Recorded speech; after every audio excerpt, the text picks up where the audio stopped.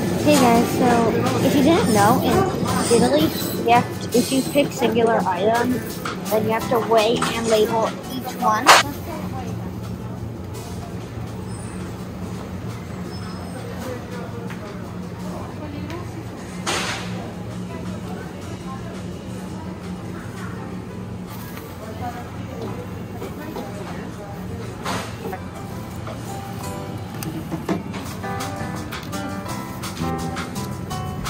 Uh, so you have to enter a number for each of the produce.